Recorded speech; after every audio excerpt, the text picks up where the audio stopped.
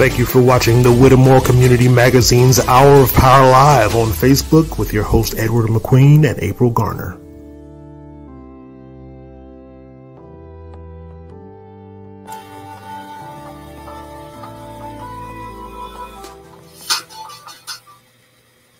Sign says broadcast. Good evening. Good evening. Good evening. I'm your host. Look, look at the guest can't wait to say good evening. I mean, she's she's ready. Move over a little bit, Miss Winifred, so we can all see you. Yeah, there you go. So we can see your beautiful face. There you go. Yeah. yeah. good evening to all. Um, uh, it's, it's been a heck of a week, but we hope to compensate for everything that happened all last week. Anything that's bad that happened, uh, because we got some good information for you and some some good history that you should have been uh, learning a uh, long time ago. Uh, but I'm your host, Ed McQueen, co-host Sister April Garner from the capital of Conway, straight from the capital. Sugar Hill, all day, every day. every day. That's a nice place. Everybody's gonna be wanting to go to Sugar Hill before it's over with. ah, that's a long story. That's a long story. But uh, as, uh, we want to recommend everybody to our program, and uh, hope we'll keep dispensing some information that um, particular interest to everybody. You know, every, every gender, every age group. All day, every day.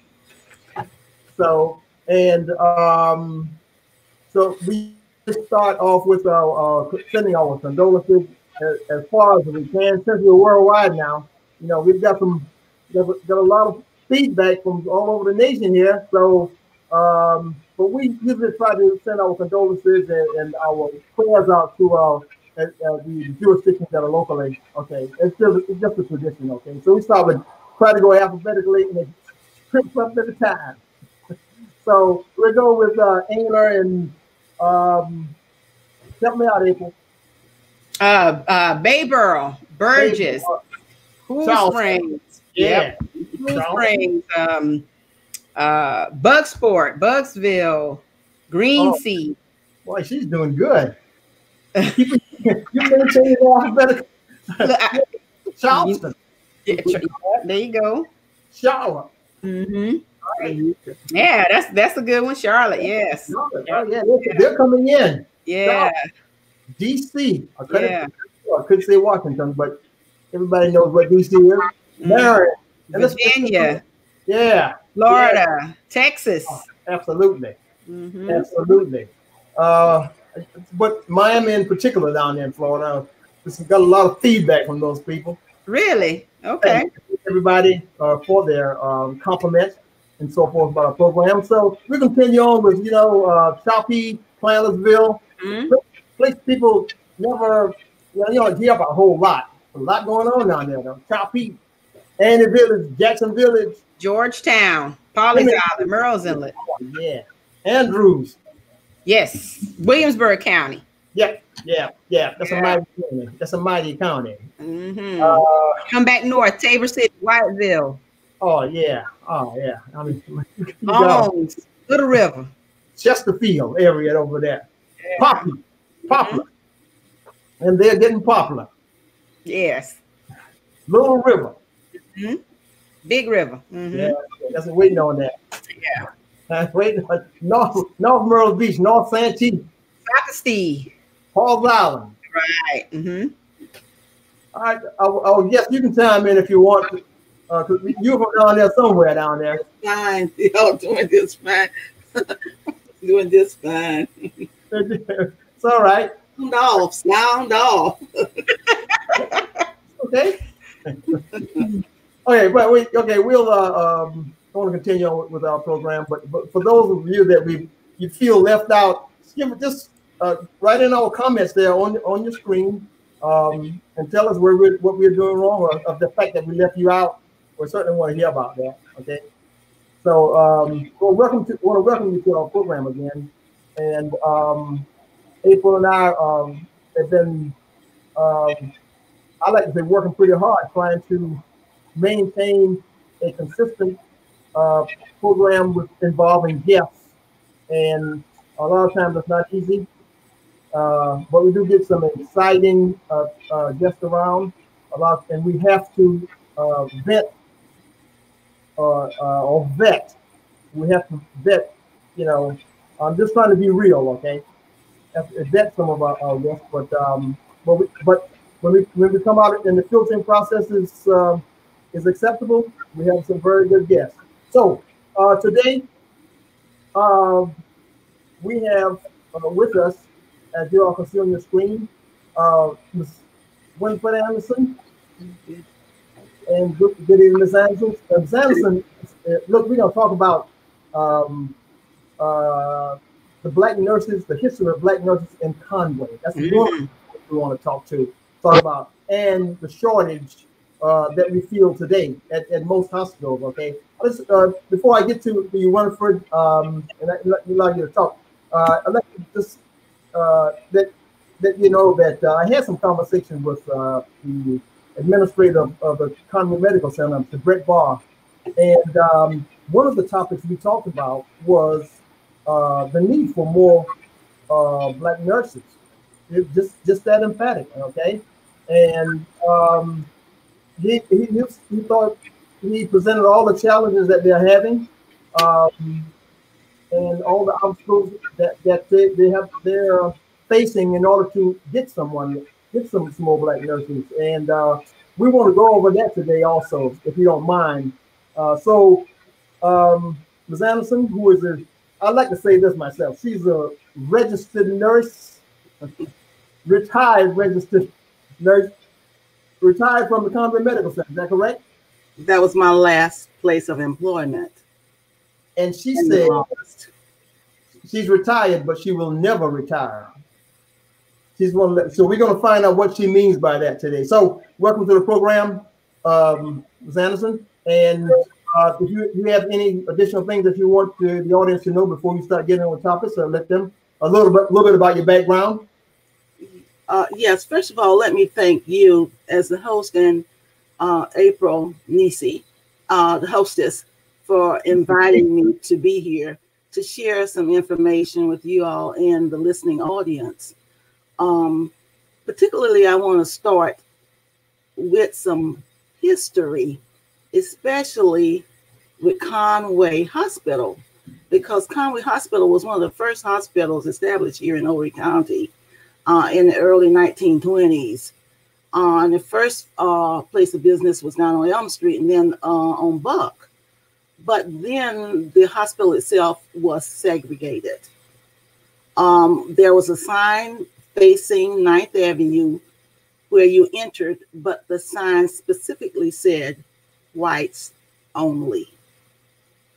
There was the black entrance facing the Buck Street that was the colored entrance. And the black ward was for the black patients. So the black ward for the black patients had black nurses, black orderlies, and black nursing assistants. And some of the persons that headed those units was my mentor, the person I tried to imitate, Nurse Ada Hughes was one of the persons that was a charge nurse on the unit. Miss Annie Hickman and Miss Isabel Laws were the RNs, the registers that would head the unit. There were other nurses um, that came in that were just wonderful because they had to do what they had to do, but who they had to do it with. Um, we called her Nurse Lee but she was Miss Marion Wright, Nurse Marion Lee Wright. Right, right, right. Miss Elise Spain, who was a practical, licensed practical, also a midwife. We had also Miss uh, Elmira Connor. We had um, Ruth Burgess. And we had um, uh, some of the other nurses that came in um, because the nursing schools were limited. Um, and for a while, there was no nursing school that had any Black students. And um, there was a house over on Buck Street that they used. It had two stories for training the students, and there were some early Black uh, student nurses that attended that school and did graduate. And in one of those, uh, Miss Burgess and Alice Smith and Mary Alice Friday, and some of the others that graduated as uh, practical nurses. Miss Burgess there, when she graduated, Miss Ruth Burgess, she was in the class of 63 and was one of the only blacks in that class, but graduated with honors. She uh, received the Nursing Excellency Award in that class and still living, still functioning, and um, is still proud of being a nurse. She's and the nurse on the right there, right? On the right. Miss Burgess, looking at your screen, she's on the left. On the left, okay. Miss Dorothy Woodbury is was one of our unit secretaries, but later. But Miss Burgess was in uh, one of the first classes, graduating classes, over at the School of Nursing, and then it after several years it closed for a while and then reopened again. But um, we had uh, Miss Jackie Frazier that came in uh, later, and uh, Miss Mosella Bell. But the hospital at that time mm. Was like a fabric that's so woven tightly together until their dining room, the colored dining room, was a room that was for storage of food, non perishable foods. But a table was placed there, and that's where they eat. They ate. It wasn't even a window. Um, and then asking them because this went on until um, the late 60s uh, when the hospitals were segregated. Why did you eat there? There wasn't a sign on the door that said colored employees. White employees were across the hall in the larger dining room. They said no there was never a sign but that's where we where we ate. Mm. And the people that came to orient a new employee would say, This is, if they were black, this is where you eat. But there was never a sign saying that they had to eat there. It was just that every black person that worked for the hospital, that's where they ate in that storage room until the hospital was segregated and that room was made to be what it was made for the pantry storage for the hospital. Miss Winifred, yes, was it just kind of understood that that's where you all were to eat? I mean, did anyone, any of the white employees, ever invite you to come and eat with them? Even if they did, I understand because they would have felt so strange that they never even asked or wanted, they all stayed across the hall in that storage room. And that's where they had their meals until the hospital was segregated. And I asked, I said, if it wasn't a sign and nobody said you had to, why did you? It's because we wanted to. They want, okay, all right. They wanted to. Hmm. They wanted to. Hmm. They wanted to. And so, um, like I say, Miss Hughes, Nurse Hughes, Miss Annie Hickman, and all the others, they were so profound and so dedicated with so much integrity for the profession that they made steps, foundations that was so strong that anyone that wanted to follow in the profession itself, they paved the way. They paid, we didn't have to ride on their shoulders. They made the foundation so deep that we could follow. We could follow. And then those steps that we could build on were building for others to go higher and higher. Mm-hmm. And yeah, for some reason, um, and I remember uh, Ms. Hughes because she was she was uh, my uh, my neighbor. Okay, um, when whenever she would give me a shot, it never hurt. But if somebody else gave me a shot, it's your imagination. Yeah, you know, my imagination. she wasn't going to hurt you. But um, go ahead, Mr. Go ahead, Mr. Mr. McQueen. What were you going to say? I, I just thought it was the soul of the needle. You know, it just. But she, yeah. you know, I guess she was so jealous about, it. and she thought I was so young, you know, and and you know, and she probably talked to you. Yeah, talked to you and to because in our little village down on Spivey Alley, mm-hmm. Miss Lee, Miss uh, Miss Wright, Homer Wright's mother, when we got to the point we wanted our ears pierced, she pierced everybody's ears. She just set you down and she would start talking to you and doing your ears like this until it got numb and took that numb num uh, uh, that thread and needle number eight and before you know it knew it your ears were pierced. And who was that miss, uh, Wright? Homer Wright's mother. Oh okay. Beverly Wright mm-hmm. so we had everything in the village down there. But one other thing the hospital then we had one doctor. Dr kelly was a primary physician. He was he was the obstetri- obstetrical doctor uh, he was everything mm-hmm. so because the ward was a colored ward when he he would go upstairs to deliver the baby but the baby and the mother had to come back and that mother had to be in a room with another patient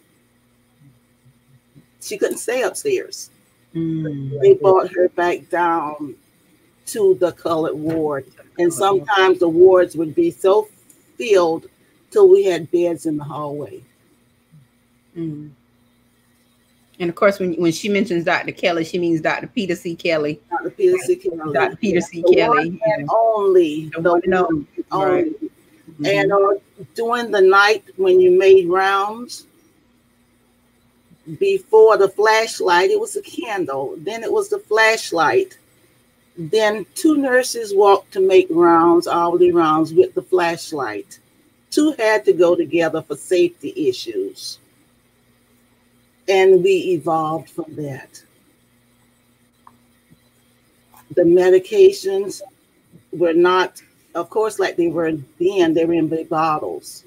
We had to use the mercury thermometers, you mm. the mercury thermometers we put them in Septisol. Uh, they had to sit in the Septisol for so long and went to a place called Central Processing. And Miss Ivy Ruth Pertel worked in Central Processing. So yeah, everybody used everybody's thermometer. Just after we took your temperature, it went not the, the same thermometer, but it wasn't disposable. Very few things right. were disposable. We mm-hmm. washed the bedpans with mops, little hand mops a glove was a treasure. Uh, was that just on the colored ward, or was that all over the all hospital? Over, all over, all over the hospital. No so disposable, no disposable. They had the temperatures upstairs on the other floors. Put them in Septisol. Somebody from Set, uh, Central Processing came, got them. When they came back, they came in little packets, individual packets. Hmm. Mm-hmm. I think my first recollection of being in the presence of a nurse was uh, seeing Ida. And uh, you know, of course, she would come to my grandmother's house, and my we, my brother and I would be at my grandma, my grandmother Rosa would be at her house. And um, if I'm not mistaken, wasn't Ida in the military? Yes, she was. And and, and that discipline and that integrity, uh, she walked through the door and she just oozed it because you know, it's almost like when she walked through the door, you just sat up straight because you didn't know. She took, just respect her so much. You know, you respect her so much. Walked in with authority. Exactly. Exactly. And exactly. things took. It was a controlling situation, and that's the kind of nurse she was. Mm-hmm. If you came to the desk on the colored ward and she was there, and you wanted to visit someone, and you started down to that person's room, and for some means or whatever you saw, she, she would say, Didn't I say you go? yeah, she was a military nurse. Mm-hmm. nurse. what, what was she uh, supervising uh, capacity there, there? Oh, yeah, she she was she and um, Miss Isabel Laws and Miss Annie Hickman could be what they call the charge head, whatever supervisor, one of the highest levels right. To entrust the units with and the patients and the employees worked under their supervision. Mm-hmm. I just want to remind our viewers, and first of all, thank our viewers for being with us today. This is already an intriguing conversation. We're just a few minutes into it. Uh, but if you post your comments and questions in the thread, we will uh, share those comments and questions with. I'm calling her Miss Winifred on on air, but I've always known her as Sister Anderson. okay. Sister Anderson, and um, and and you know share the comments and questions so she can answer them for you. And there's a couple, if you don't mind, I'd like to go into okay. a couple of questions. Sure. Sound, okay. All right. So someone wants to know where did you go to nursing school? I started school um, when the Conway Practical School opened again after it was closed for several years. And because I had, I was a single parent and I needed a job that could pay me a salary to work because I knew I was going back to school. So I went there and I, I graduated from the Conway School of Practical Nursing, took the boards and um, what they call national when you talk whatever was the requirements. Mm-hmm. And so then I worked five years at Conway Nursing Center and Nurse Hickman and I worked together, Nurse Lee Wright and I worked together. And then I, while I was going back to school, but at that time, it was really a challenge. And it was also a stigma but the challenge was there was very few nursing schools that was available that you could re- really. But then Coastal Carolina opened, and there was one building, there was two buildings. So when I got the opportunity, I went back to Coastal, and Coastal was a branch from U- the University of South Carolina. So when I mm-hmm. graduated back in the 80s, after um, you know working, uh, I graduated uh, with a diploma uh, from the University of South Carolina because that's where Coastal was um, branching out from. Right. Yeah. Mm-hmm. So by the time you graduated from USC, how many years of nursing did you have under your belt? From the time I graduated from USC, I think when oh Lord, gee, GGG. You could probably teach the classes at that Yeah, and I had I had a, a chance offered to me to actually go over to Aynor Conway Career Center, but yeah. you, know, you know, it was it still seemed like hey always, you know, you have to prioritize your the, the way you do things, mm-hmm. what is most important in priority and stuff like that. Yes. But yeah, uh, so I, I I struggled. It was a real challenge, challenge. But no, I went back and uh, went back and got um degree from University of South Carolina School of Nursing. All right. All right. So uh, go ahead, Brother L. I was going to know. Yeah, go ahead with, with your threads, uh, April. I, I'll just. Okay. All right. So uh, there's another question on the thread. Uh, uh, she want uh, Janet Thompson wants to know whether or not you mentioned black nurses from Charleston that boycotted for better conditions. Um, do you remember that that happening? Nurses from I remember vaguely, vaguely but I don't remember it well enough to go into a conversation about it. Mm-hmm.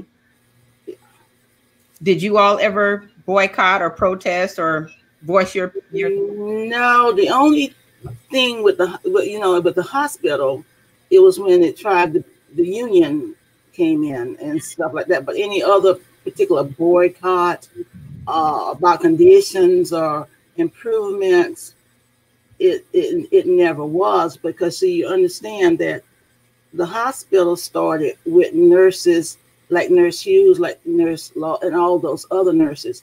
It wasn't, and you, we'll talk later, I guess, and could say now, it wasn't until I say the thunder roared and the lightning struck, mm-hmm. and the doors for education were made more readily and we could go back and uh, go to the schools schools of nursing because uh, dreams are dreams, but you have to uh, make reality a choice. You know, you have to do what to what you can do to make things real. So um when the school opened, when Coastal opened, like I said, it was very few few buildings, but there was a group of very energetic, enthusiastic, and very intelligent young women. There was Linda Wright, there was Linda Floyd Wright, Rita Lady Stanley, Millicent Smalls, Connie Perkins, and still with Coastal being a small uh, college and just getting off of the ground, you had to take a bus from Conway to go up to Florence for your clinical.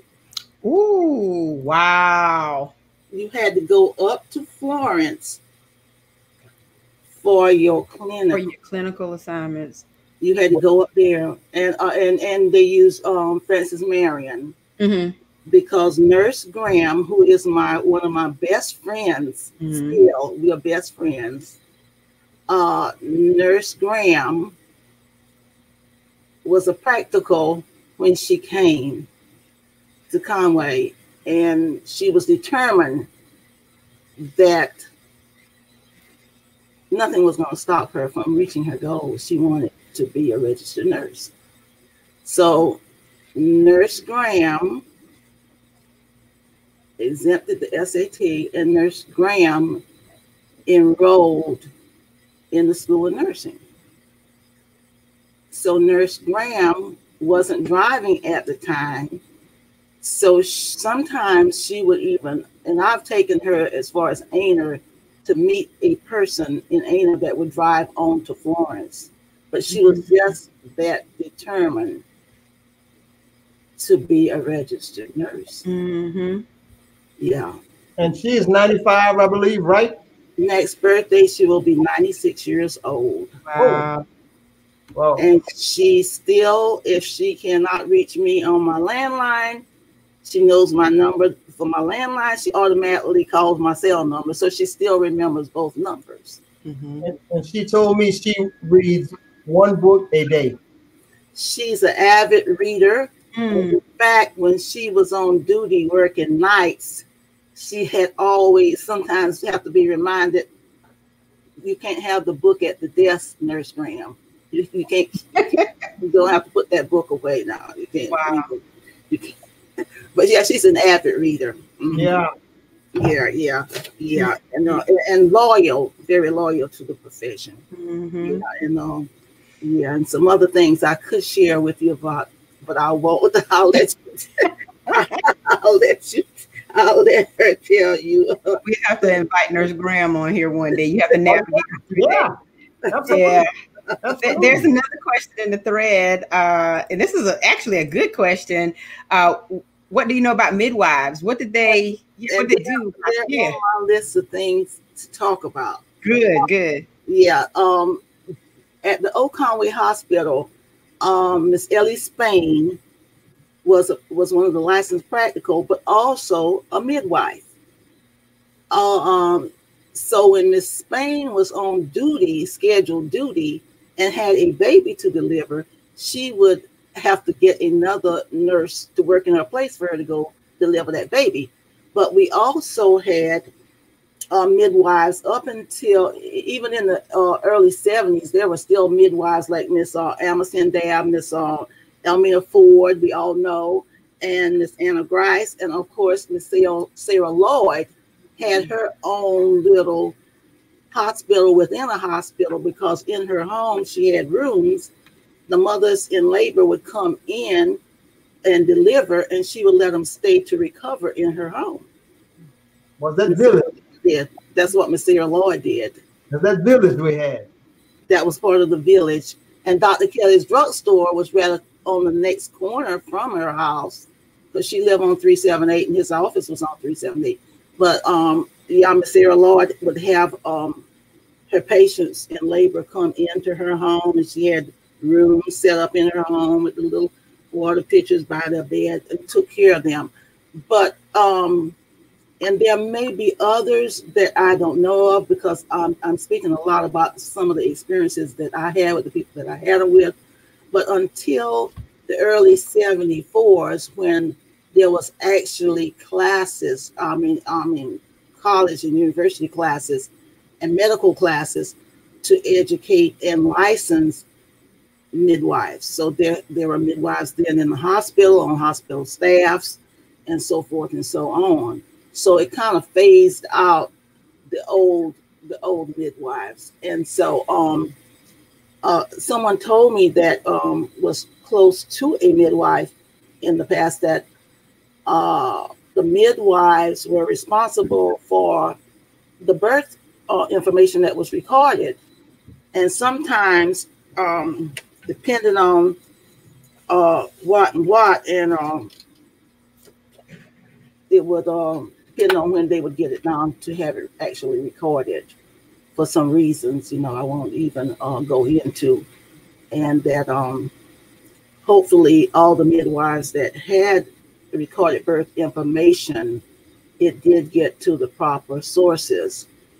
Because I know a lot of people uh, be- before, you know, my, my birth and all like that, said uh, they had problems even going to the courthouse getting information about their actual birth.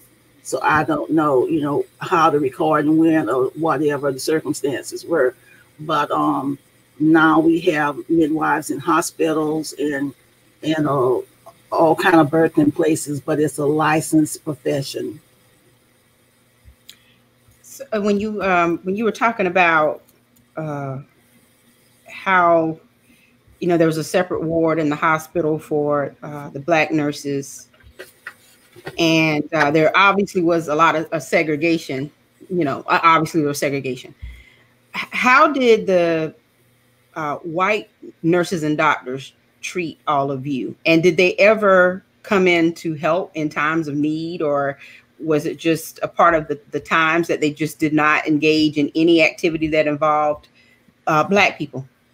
Well, no, because there was a, a, a professional oath, you know, and um, the emergency room was a place you couldn't segregate anyway.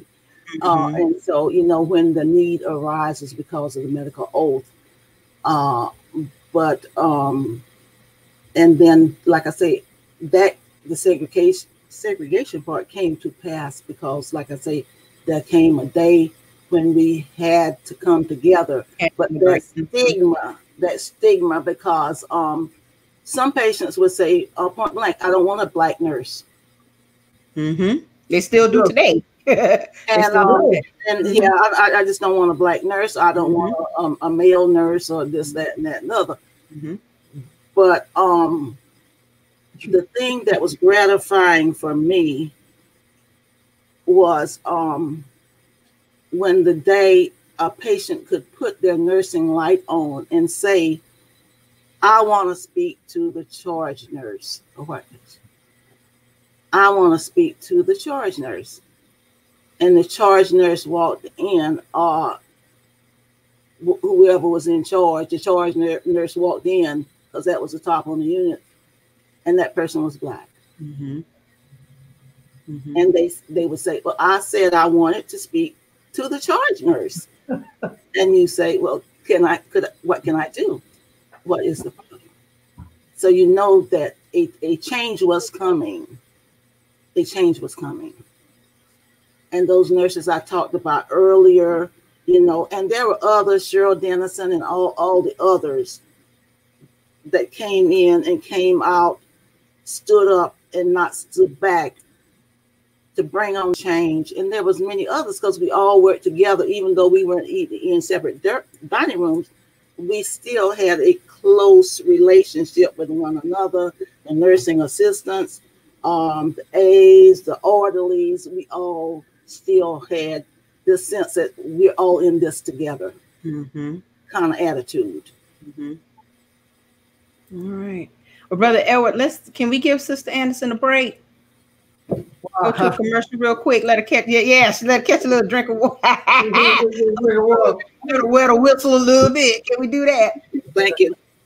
Yes. Is that okay? Oh, uh, also want to know, um, because I don't know, you're probably not looking at my, I'm sending you text messages, Brother Edward, but uh, do we have the Black History Moment today? We have the Black History Moment if time permits.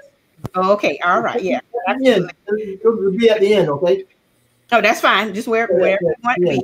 But uh, I'm going to go into a little commercial break now so that um, Sister Anderson can catch her breath, and we'll be right back. For all of your insurance needs, home, auto, and life, see how it feels to be on a number one team with Tony McAfee of State Farm Insurance.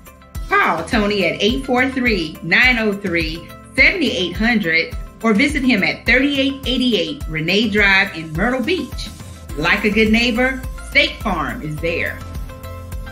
Looking to start a new career? Train to work in Myrtle Beach. Classes starting soon. Free to eligible participants. Short term, three weeks or less in hospitality, culinary, electrical, plumbing, and more at Horry Georgetown Technical College. There's more. Continuing education at 843 477 2020. Horry Georgetown Technical College, where there's more. Enjoy soul food the way your mama made it. You'll be surrounded by some of the best food in Horry County and affordable prices. Blue plate specials, senior plates, and more. Daily specials at Big Mike's Soul Food. Big Mike's Soul Food is located at 504 16th Avenue in Myrtle Beach. You call your order in at 843 712 2048 or visit BigMikeSoulFood.net to find out about the latest specials. Big Mike Soul Food Soul food, the way your mama made it. Treating conditions from A to Z. Schedule an appointment today. Ask about acceptable insurance coverage at Waccamaw Primary Care, 660 Singleton Ridge Road, Conway, South Carolina. Dr. Winston D. McIver Jr., a trusted and reputable source in Horry County and beyond, has all you need for family practice and sports medicine. Call 843 234 4362 to schedule your appointment today. Waccamaw Primary Care, 660 Singleton Ridge Road, Suite A, Conway, South Carolina. 843-234-4362. Family owned and operated since 2001, a veteran owned company. We're your number one property cleaning company serving Horry County and surrounding areas. Superior Window Cleaning has all that you need for residential and commercial property cleaning. Mention WCM Live and receive free window cleaning with power washing for up to 15 windows or free power washing for up to 200 square feet, flat work only with any window cleaning job. Call 843 889 7255. That's 843 889 7255.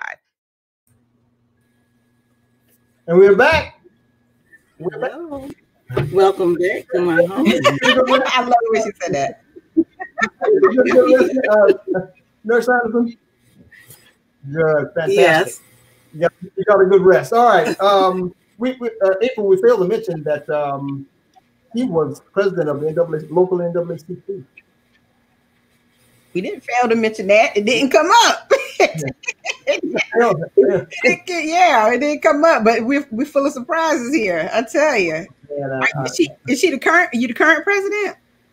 I'm I'm serving right now. Serving right now, Conway Branch. This is the election year. If any of the the, the listening uh, listeners are interested, uh, you can notify me uh, the branch to find out what the qualifications are, mm-hmm. uh, because this is the year for all branches in the state of South Carolina to have their election for new officers. Okay. All right, is there a phone number for them to call? Yes, um, 843 248 4448. 843 248 4448. Mm-hmm. Oh, oh, oh, all right. I, I, uh, yes, I, I, just wanted to say uh, one thing about uh, another very good friend of mine, which was uh, Nurse Nurse Lee Wright, and I, I, think you have a photo of Nurse Wright. Uh, was this what do you call it, Lee Wright? Yeah, that's all we called her when she first came. She was Nurse Lee, cause and then they would say Nurse Lee, and I didn't know her, uh, her first name for a long time, Marion. Right. But then she was Nurse Lee, Lee Wright. Well, uh, one the one time she, uh, I remember, uh, someone asked her to do something, and and, whatever what whatever they asked her to do, Nurse Lee, she she said, "Well, I would have you to know I am I do have license. I am a licensed nurse. So yeah, nurse. That's Nurse Lee there. Um, a wonderful friend and a hard worker that was part of the colored ward also, and then went into um, private uh, nursing and um, was an entrepreneur because at her husband's business where we met on 378, the Wright station where Mr. Dorsey Connor would work in the morning, selling all that candy and stuff like that. So yeah, I just wanted to bring that up. Uh, I, I, I just Miss uh, Nurse Wright was a wonderful, quiet, quiet worker. It took a lot to rock her boat, but when you did, she had a way of softly yes, ma'am, putting you right where you needed to be. Now, Miss Winifred, this picture, where's it? Where was it taken? I, that's her graduation, evidently from high school or, or, or school, because there's guys in it. Because when the nursing profession was very, very young, uh, there were only females. Um, hmm. They looked down on males for, um, so it was only till later, much later, that um, the opposite gender joined the nursing role. So, so you what, think this is high school? When is that? Hmm, I, will have to find out from. Uh, it, wasn't. It wasn't Whittemore, I guess. No, because I think Nurse Lee, Nurse Wright came from down in the Charleston, near going Charleston. I think she came from Estill. Estill, yeah, yeah, because yeah, yeah, we're yeah. related to them. Mm-hmm. Right, right, right, right. You're absolutely right, right. Mm-hmm. But she still looked like, oh, even on that picture, she still looked like Nurse Wright. Mm-hmm. Oh yeah. Mm-hmm. and I, you know, while you know, uh huh. Yeah, would you remind the audience uh, who, who, she's the mother of? Uh, and I mean, yeah. generations yeah. that, uh, that, that you know will associate their classmates or whomever uh, with, with that yeah. name. Yeah, uh, nurse uh, Wright, daughter-in-law is Linda Floyd Wright, nurse Linda Floyd Wright, who was a part of the Conway Hospital. Uh, uh, she worked on pediatrics, but Linda is a very hardworking, ambitious person too, and very smart. So she, and nursing has a lot of possibilities. Is one of the administrators over at Walk, Waccamaw Center for Mental Health, but that's Miss Wright daughter-in-law who was married to her oldest son, Arthur Jr., and Curtis Wright is her baby son, and Edna is his wife. Mm-hmm. Mm-hmm. So that's that's her her, her offsprings.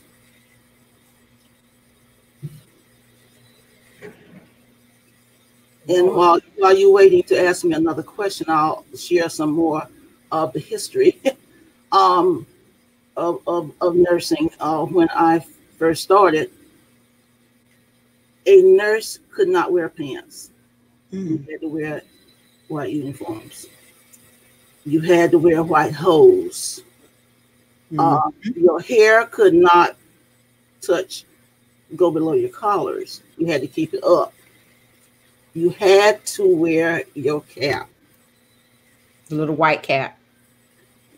It could have been a little one. It could have been whatever your school. You just had to wear a cap. You, you had to wear. Uh, no, you couldn't wear any cap. Mm-hmm. Uh huh. Your school that you graduated from had their own adopted their own caps. Oh, I thought it was universal. Okay. No, ma'am. Yeah. No, ma'am. You can get into a lot of trouble.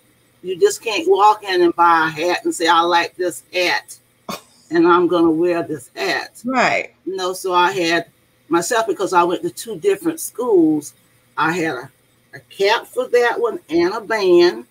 And, and and this one was my last one. That was my last one. So um no. And uh, I have had known nurses that were pulled off out of duty because they came on duty with dirty shoestrings and their shoes were not polished. Ooh. When we were at the desk and a doctor was coming toward the desk, we had to stand. We, you, you couldn't sit. You had to stand. Mm-hmm. You had to stand. And like I say, that was the past. when the day came and the time came and things changed, things had to change. No more eating in separate dining room, dining rooms. We, we went to schools, we went to colleges, we went to universities, and we said, spoke to the powers. I have met the requirements to run this facility, you don't have a you do not have to have a white nurse mm-hmm. to be in charge, a head nurse to run this unit. I have the qualifications and I can do it. But you have to give me that chance. And those were some of the challenges. Right. Um, because um, there, there was a, a, a nurse that left the hospital and went away to Ohio because she had married and her husband's job took her there. And she was one of the head nurses, and it was at the old hospital, but we were moving in April of 1982 over here to Merrill Trace. And she said, But one day I'll be back. And so um, one day she did come back, but at that particular time, a position was open for the unit coordinator for surgical. And I said, I'm going to uh, I'm going to apply. And I said to one of our people, and she said to me, she said, I wouldn't, I, I wouldn't apply because they're not going to give it to you. And I know they weren't going to give it to me because we fought too much and too long to get where we are. They ain't gonna give you nothing. They're not gonna give it to you. She's back now. Well, you want to earn it. And uh they gonna give it to her. And so I say to um, new nurses that um, that I've mentored and uh, uh, coming into the field, and I tell them that I said, um, you know, I didn't have to make a believer out of the persons, uh, the person or persons that were saying it to me. The believer was right here. I had to make a believer out of me first that I could do it, and I felt like I could do it. Mm-hmm. So I did. I was the unit co- uh, coordinator on surgical wing. I, I did get the job. Wow. But it, it, wasn't other people. The first person that said that to me, I, you shouldn't apply. They're not going to give it to you. They're going to give it back to her. It didn't happen. Mm-mm. It didn't happen. You have to work hard. Nursing was never a glorified profession. Not mm. when you had to wash bedpans empty emesis and stuff like that. It was never glorified. But, and I, I say, uh, when a person says to me, Oh, I couldn't be a nurse, you shouldn't be. Mm-hmm. You shouldn't. If you feel that way, you know, mm-hmm. you know, you know, because everything isn't for everybody. That it takes a special person to be a nurse. It really does take a special. It, it, it does. It, it really does. It really so, um, if I, if I may, may uh, deviate a little bit, um, uh, Nurse Anderson, um, what, what, what, what do you think uh, the uh, the obstacles are today um, for um, not having enough uh, black nurses? What you from was apparent, apparently, we don't have enough black uh, nurses. Okay. Um, now it could somebody else may have a different perception. Mm-hmm. Well, uh, yeah, go ahead, please. Yeah, somebody else may have a different perception, but um, uh, it seems to be a general concurrence anyway on uh, that. Uh, there's a void. There's a void there. I call it a void because um, you know there's no representations in a lot of cases, and not just at Conway Medical uh, Center, uh, but seemingly uh, all over in South Carolina. Um, yeah, yeah, and critically all over the over the United States. Okay. Um, so what do you what do you think? What, what's your take on that? Do you what, what are some of the obstacles and the challenges you think that that have to be overcome before um, um, they can that uh, to be met? Well, I, I heard you when you said you met with um, what the CEO at the hospital, right? And um, uh, there are still nurses at the hospital that really qualify for certain positions. And um, one I, I particular have talked to recently, um, she said they said I had that you have to have another degree. She said, so I now I have another degree. And I'm just gonna have to look for something else to do. But I said, have you what have you applied for in this facility that you were turned down for? So she she has not uh, uh he has not applied for any other position. And like I said, they're not going to come up and ask you if you want it. And a lot of people come in with the expectation that um, you can walk in today and you're going to automatically, I mean, it, it, I mean, I don't care what kind of degree you have as far as hospital nursing, you have to start at point A. And it's mm-hmm. not easy. The hospital is a facility that's open 24 hours a day seven days a week. I guess that's a part that I, I can really appreciate, and that is uh, because somebody's going to be digging on my body. Somebody's going to be giving me a shot, and uh, uh, and so forth, and all the things that are going to impact my body. And you want the best, okay? You should demand. Yeah. And demand, and it is, like I said, it's not an easy job, um, and it's what an individual is willing to sacrifice because a lot of people that come back uh, uh, uh, in the profession they have families uh, and, and the hours you know and it's not easy. So it's it's what you're willing to put in to get out in that sacrifice. And then you have to be a believer in yourself. And then you have to step up step out and say, I'm that person. And you'll ne- they'll never know until you uh, have the chance. Mm-hmm. Don't wait for them to give you. Take that, step out on it, claim it. And I tell um, some of the, the people that I work with, because you one of the best unit secretaries that I've ever had on nursing tech, don't mean you always have to be that. Continue right. your education. Mm-hmm. Everybody might have a dream, but that education is that key to open that reality. Continue on, be the best person that you can be. You don't have to stop here. Yeah. Mm-hmm. So it, it, it's it's just um and like not like I said now with all the schools around when back in the day when I first started they didn't even have a site facility here. You had to go up to Columbia for your site rotation. Wow. For the rotations? You had to go to Columbia.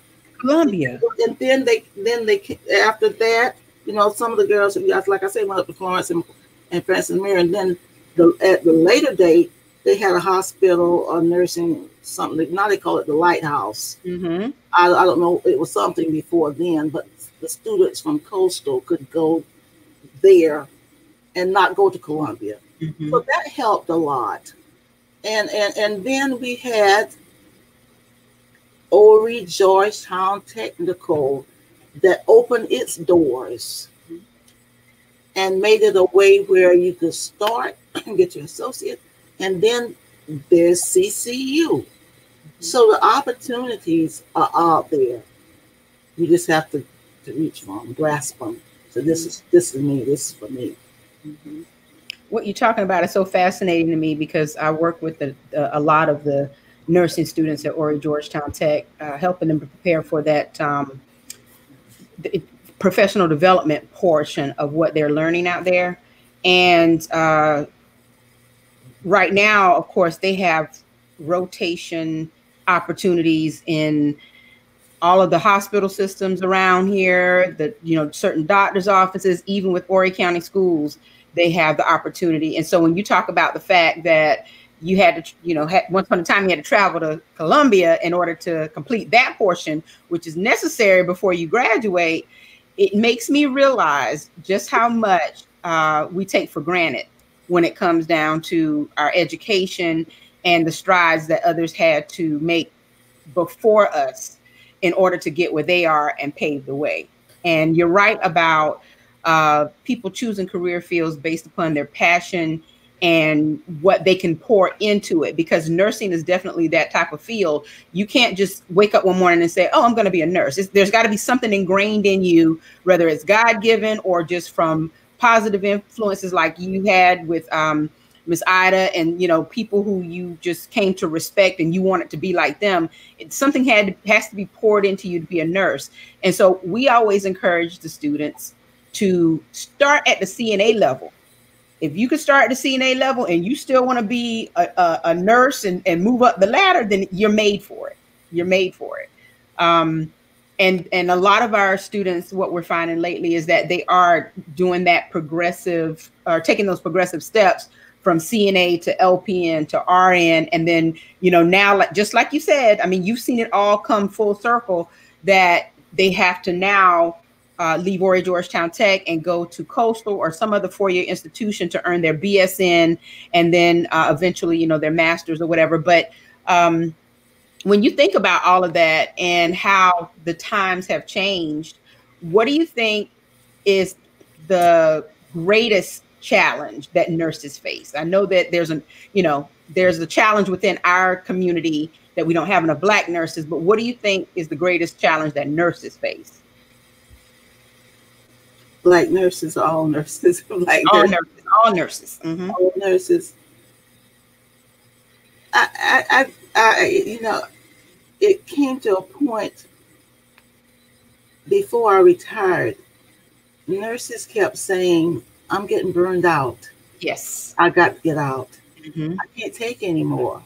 Mm-hmm. They're, they're asking more, requiring more.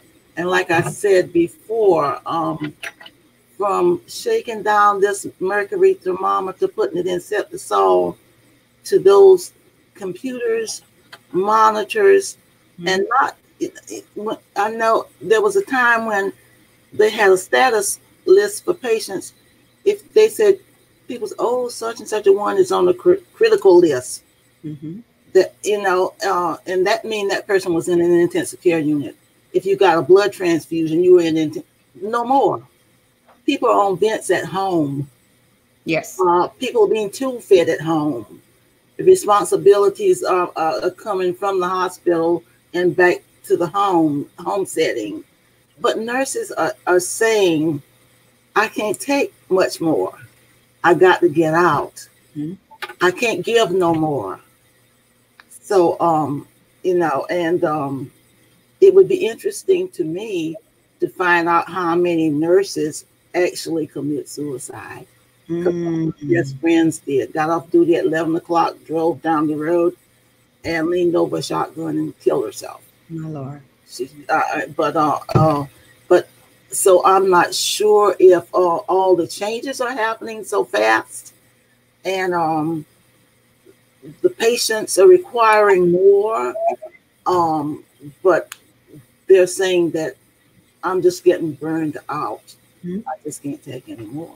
Yep, and and that's what we're hearing, and that could be one of the main reasons why we're seeing so few of us going into the profession because you know it's it's not that we can turn our ears off and our minds off and, and not listen to uh you know those i don't want to call them complaints but those those gripes about the and the qualms that people have as far as the challenges are concerned and i don't know what can happen to turn people's mindsets around about it and that's why i think you know, it really has to come from someplace deeper than just I want a, a good paying job or I, you know, I want a stable job because you're never as a nurse, you're not going to be paid what you're worth. Never going to no, no, no, no, no, no. But one thing you can can be assured of that you'll have a job. We'll have a job because the demand is there. You will have a job. Have a job. And at the point, at one point, before I retired, it the nurses' need got so great, you could almost say what you would work for. Mm-hmm. Instead of them saying, we have such and such a thing uh, hourly, you, you could almost say what you would work for. That's right. I'm going to work here for this and this and this and this. Write your own check. Um, mm-hmm. yeah, so that, so, but, um, And things change so fast with the medical profession. They do. It changed. I mean, it's, I mean, but the opportunities are great. Mm-hmm. The opportunities are great. Uh, you don't, you know, you start with the CNA, you start with the, and they make the greatest uh, nurses. I mean, the ones that come, you can tell. Mm-hmm. Um, mm-hmm. uh, uh, then now we have the nurse practitioners, the anesthesiologists, the physicians. We have them in all colors also, but a lot of them started as nurses. That's correct. They started as nurses. They got their fundamental training, uh, inspiration, guidance from their, their, their nursing foundation.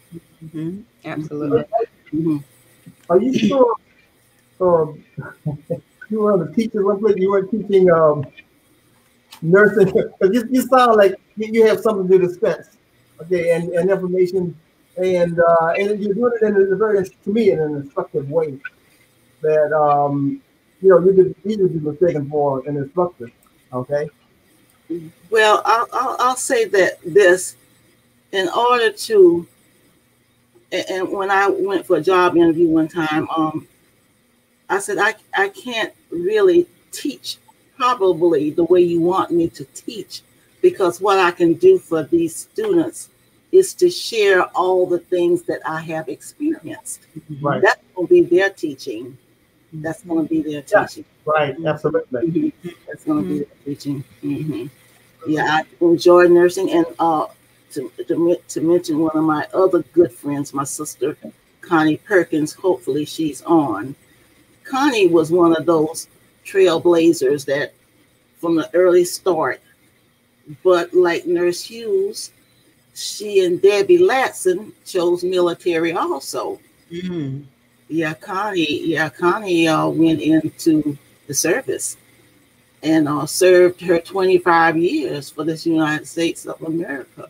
Wow. Traveled expense, extensively, even to Belgium and all. I don't want to be India, you know. but uh, Yeah. Connie did and came back. Fort Jackson worked, uh, transitioned out of the military, and then worked as for DHEC because she was a nurse. Mm-hmm. Debbie transitioned from an air traffic controller in the United States Air Force, came to me on surgical unit, worked until she was ready to go to Emory Hospital in Georgia. Mm-hmm. Sister Awesome. Deb. That is awesome. Debbie Latson.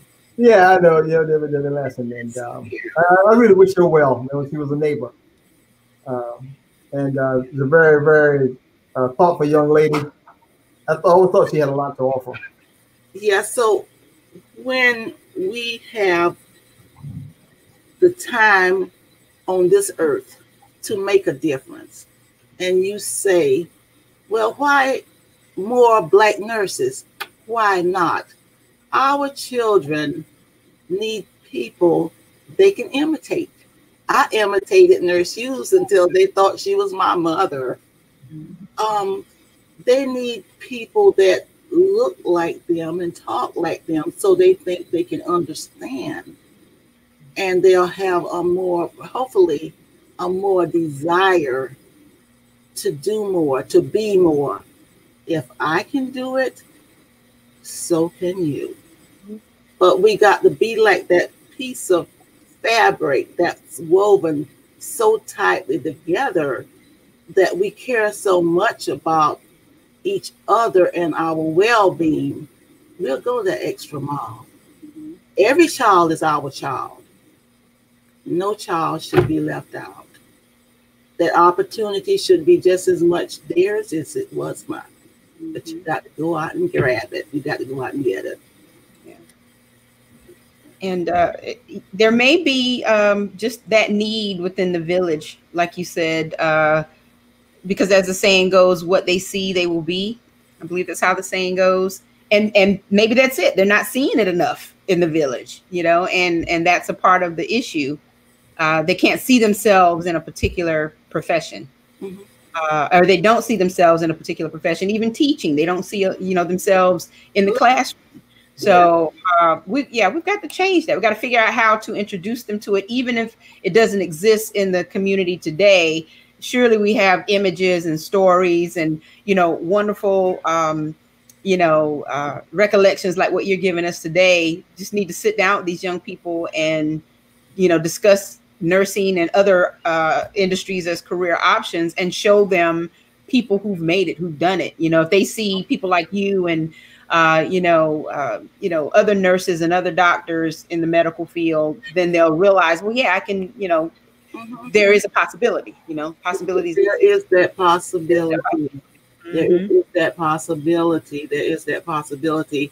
And uh, I don't know how much more time we have, but it's before Mrs. McQueen get on with her historical facts, I need to share one about um, when, when we were young uh, and that's why I, I know uh, I was going to be ordained to be a nurse. But when when you know how in the summertime you would walk around with no shoes on, we, we did that. And if you accidentally stepped on some broken glass, cut your foot, it They would say, wash it off. You had to either wash it off with pump water, well water, other it, whatever you had. And then go there to the edge of under the house there, get spider web, put on that entire white piece of cloth, stop bleeding. If you had a infected bump arising, get a little piece of fat bag, put on it till it come to a head. Then the great grands parents, you had to have clay because they were Indian descendants. Mm-hmm. Get that clay. If you sprain or twist of the ankle, make that plaster put it on. That was their cast. That's right. The mm-hmm. medicine cabinet had turpentine. It had um alcohol. If they couldn't find the alcohol we buy now, stump hole, whatever alcohol they had, and things like that. But it was just kind of but it wasn't.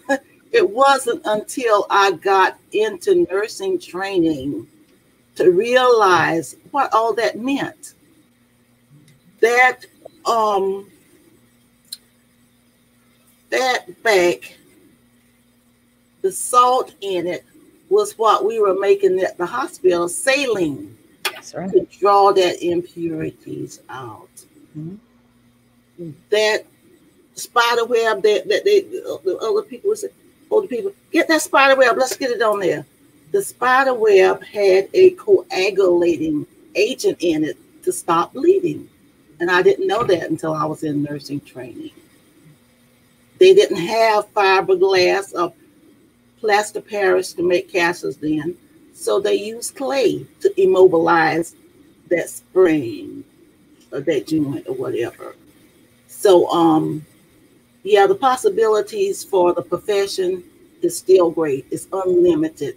If it's yours, go out there and get it. Take it. Don't wait for anybody to give it to you. Mm-hmm. Well, I, I, hope our listeners are really listening to that because there are 30 million of us that don't have health insurance. They're gonna they need an alternative like that. Spider webs, fat back. I don't know what. Certain time, merthiolate. you, you use what you got when you got to use it. That's mm-hmm. all I can say. So, mm-hmm. thank you. This has been awesome.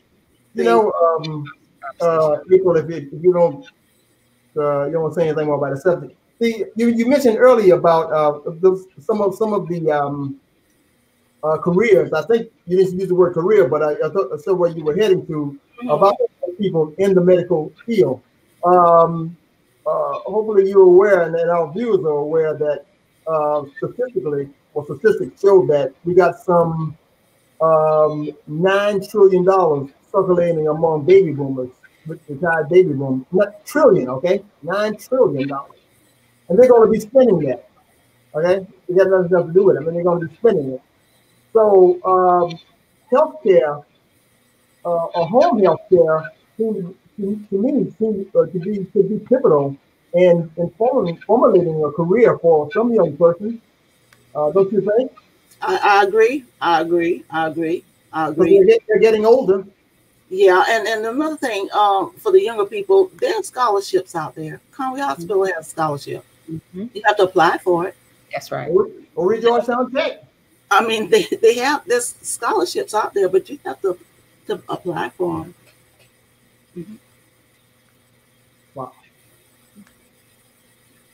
Well, okay, uh, we we've been in um, showered people with uh, as usual, showered with some of the best medical advice uh, and career advice, I believe. Have you heard in a long time? What do you think? Yeah, I, it's just absolutely wonderful um, hearing this firsthand, and right. I don't think that I've ever uh, heard Miss Winifred speak like this about her. Um, let's call her let's, let's call her Nurse Anderson from now. I don't mind calling her Nurse Anderson. I, call me what you like. Thank you. Uh, but uh, I think I think it was fascinating and it was um, eye opening, and I was thinking to myself, how can I get her? I'm gonna have to call on you to, to talk to our nursing students. They need to they need to hear your your story, and right. I think it and I think it will make them understand more about why it's important for them to to do what they're doing, but also how far we've come, and still we have a long way to go yeah. when it comes down to the medical field, especially nursing.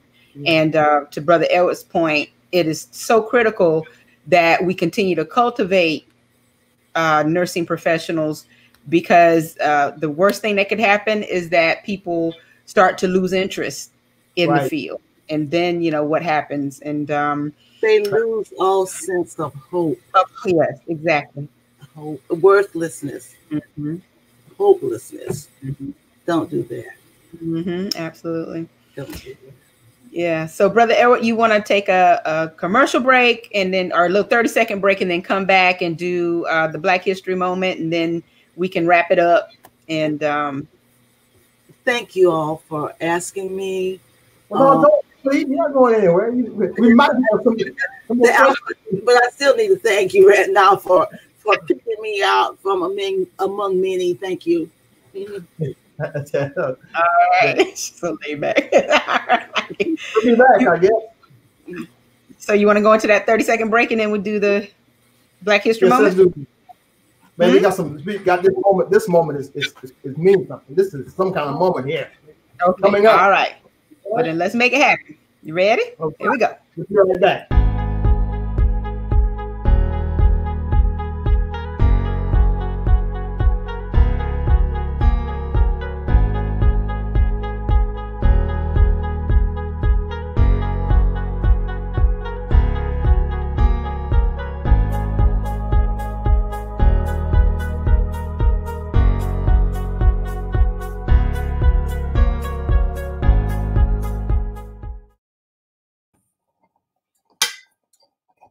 We're back.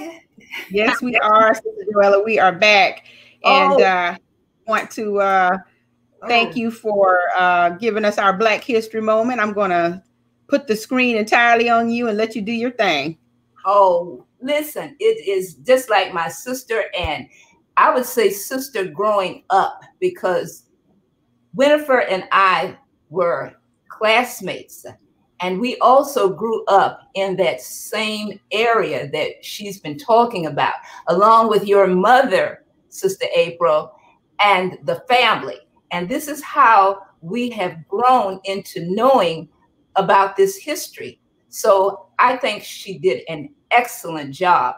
And I want to also congratulate her on just being persistent in working and doing different things in the community. So I'm just here to kind of uplift her and let her know that she has to come back on. She has to do the teachings. And Brother Edward was the one who thought about getting her on the air because in your, with your show with Dr. McIver, we are in a critical time period where every part of the community has to reach out and help us to understand more about this pandemic. And I thank Sister Marjorie McIver, uh, Sister Janar Fogg, Sister Marlo Frazier, Sister Hannah, and especially you. And I hope that I'm calling all the names uh, in terms of what we're doing to start with our children and getting them to think about careers because that's what it's all about. So at this particular time, I'm just going to kind of reiterate what uh, Sister Winifred said about the history of Conway Hospital. And just going on the website for uh, Conway, the new Conway Medical Center, I just want to share with you about how the hospital care started in Conway. Please put up the old um, school, the hospital? Okay, so all right. Here we have the first hospital that was started by a Dr. Homer Hollingsworth Burris. He saw the need for a hospital in the Horry County community. And I'm quite sure that during segregation, I don't know whether many of us went there, but just like Winifred was saying, we had the home remedies to help us. We had to know about going and getting the medicines from out of the field. So that was our way, even though we may have not been able to go to a hospital, but we took what we had and the village worked together to help care for our ailing family members, also to help with all of the other things that they had and what took place. Now, what took place was that it started off as a nonprofit medical center rooted deep in Horry County. And in the 1920s, a group of local physicians recognized the need for a hospital in the county, and the application for a chartered for hospital, Conway Hospital, was filed with the South Carolina Secretary of State on November the 7th, 1928. At that at the time, the hospital was on Elm Street in the old Burrs building. Then soon they outgrew that. Work began on constructing and furnishing a new building on 9th Street, uh, 9th Avenue, and with the accommodation for 31 patients in single rooms and wards on three floors. An open house for the facility was held on May the 30th, 1930. And that's the old hospital there where, as Sister Winifred said, blacks had to go in that door. And we were greeted by our nurses and, of course, Dr. Kelly, who was our only black physician at that particular time, would treat us and as far as they were saying about there were 31 patients in single rooms, we did not have that luxury. Some of us were like two and three in the rooms, but we got out. We were very proud of Nurse Hughes. And as we keep saying about her, we're going to try to have some information about her on in the future history about Black nurses. Uh, all of the ones that Sister Winifred mentioned served us with dignity, with care. And that is why we always looked up to them in the community because we wanted to be just like they were and to hold that profession of caring. Then in 1982, Conway Hospital moved to its current location on Singleton Ridge Road. However, the growth did not stop in 2001. The hospital expanded the emergency department, obstetrical department, and added a three story medical office building. A new patient bed tower opened in 2009, adding 71,000 square feet and 64 patient rooms, including critical and surgical care. Today, Conway Medical Center has 210 inpatient beds and is one of the country's largest employers with over 1,500 staff members. They are excited about the growth that continues at Conway Medical School as they continue to improve the overall health of our community by being a leader in healthcare. So you can go to the website and read this. And it's so wonderful to know that Dr. Winston McIver Jr. is right down the street from that. And when you walk into his office, as I've said previously, you get that kind of old fashioned loving care that he gives to his patients. And that's why we have to reach back and get some of our younger children to think about going into nursing. And parents, I'm going to give you a challenge to start when they're young. Get books. For instance, this book, which talks about first human body encyclopedia. This is what we want our children to begin reading. And while we're going virtual in terms of schooling, pick up a book with them and go through it and understand what is taking place with the human body. And I'm just going to do a little exercise with you. Would you move your neck from side to side, up and down? Do you know that we have seven bones in our neck? The same number as a giraffe. The top one allows you to move your hood head up and down. The second lets you rotate it from side to side. Studying the skeleton. Now they marvel over the skeleton during Halloween and look at it, but the skeleton has so many, many features. We need it. And this is what we need to begin teaching our children. And maybe that will pique their interest into going into the medical profession. We want to always be able to share with them things about the heart. What happens? Why is the heart so important in the body as well as the other organisms? Talking about the cells. What is the cell? What are the parts? And this is what the scientists are doing now, parents. This is why they're working on this COVID 19 uh, vaccine. This is what we have to do prepare our children to want to go into the medical profession. And this is what we have to do in terms of letting them know that it is an honorable job to do. And I'm praying that we continue to let our children know at a young age the importance of medicine. Thank you very much for listening. And Sister Winifred, we are going to be talking because you and I have to begin to let our children know more and more about the opportunities that are available for them in terms of the field of medicine. Thank you very much and God bless. Do you need to complete your diploma or get your GED? Stop putting your future on hold. Contact the Horry County Adult Education Centers today. With two offices in Conway and Myrtle Beach, you'll be well on your way to a new career. Conway Education Center is at 843 488 6200 or the Myrtle Beach Family Learning Center is at 843 839 5400.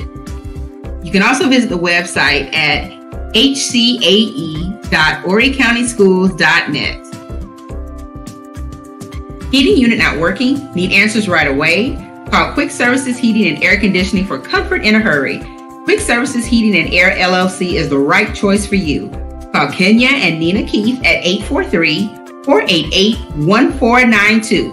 Residential or commercial financing available. You can also visit their website at www.kwikserviceshvac.com. That's K W I K Services HVAC.com. Kwik Services Heating and Air LLC, the right choice for you. Serving Horry County for over 79 years, Palmetto Chevrolet in downtown Conway has just what you need to find new roads. Come through and browse, make your selection, and find new roads right away. Palmetto Chevrolet, 1122 4th Avenue, downtown Conway.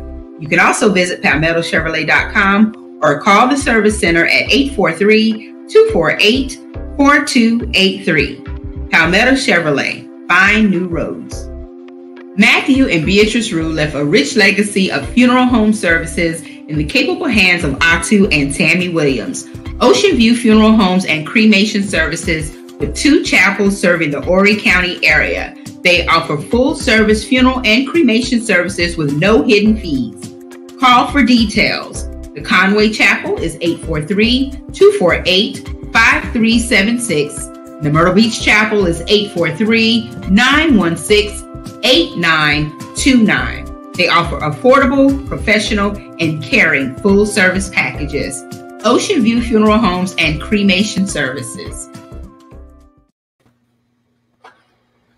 Okay, April. I just want to remind our audience, uh, especially our um, magazine recipients, Whittemore Community Magazine recipients, that, um, and I to uh, reiterate this about uh, the fact that we have not done any hard copy printing uh, for the past two or three months. And everybody's in a very understanding uh, um, uh, position from what I've seen. And that is because of the virus. We don't want to be passing it on. The, the hard copies go through many hands before it gets to the to you, the recipient, who usually get them. And so we just want to be very careful about that. And uh, just, I'm just to re reiterate that again. We haven't had any issues from anybody because uh, they, un they understood and they don't want to be catching the virus. Okay, so hopefully um, you're still uh, getting the, um, uh, the, the magazine by way of email in our data bank. Uh, we, we can, you know, we send them out to you, and um, we've got some good feedback. You you are enjoying them, uh, especially the articles that we've had in the, in the previously. So just wanted to to say that uh, to all of our listeners there again. Okay and thank you so much. And um, by the way, um, if uh, I just want to put up, um, you know, uh, a, a, information regarding the uh, subscription and subscribing for the magazine. Um, uh, Sister Jenna Falk is our treasurer, as you can see, and um, it, it's originally for a printed copy of colors. It's seventy dollars a year uh, we have to send it by U.S. postage. Put, you know, it's ninety-five dollars a year. Uh, the electronic copy, which majority of people now are getting, uh, is just thirty-five dollars. But we've got some good good um, feedback on those copies because it's very clear and you can uh, see a lot more uh, with the electronic copy. So you know, stick in there with us. And uh, if you want more information, you can just give me a call right there, 202-460-1390, or you can call Ms. Jenna Falk, uh, 24 843-248-9390. Okay, 843-248-9390. And uh, she can uh, uh, address all, all the things that need to be clarified. All right. So, uh, April, how much time we'll have? We, we, did, we um, our famous nurse is still joining us, right? nurse Graham, nurse um, we get ready to wrap it up right now, brother Edward. I'm saying you're gonna wrap it up right now. Yeah, wrap it up. We get ready to wrap it. Wrap it on up. It's, it's 8:30. 8:30. Wow, wow. Well, yeah. time goes by, we're having fun. Uh, it does. Mm-hmm. Right, Ms. Anderson? Yes, sir. okay. Uh, give you the, the last the remarks, um, Nurse Anderson. the last remarks that I have would be hang on in there, do the be- very best that you can. Don't let anyone tell you you can't when everything inside you said you can. So keep on trying. Well, that sounds great. Fantastic. And uh, with April? Oh, I just want to thank everyone for uh, viewing the broadcast this week. Uh, thank you for tuning in, and we certainly appreciate it. And I've enjoyed listening to, uh, you know, this this history of Horry County, Black history in Horry County. So thank you so much. And you and I are going to get together real soon.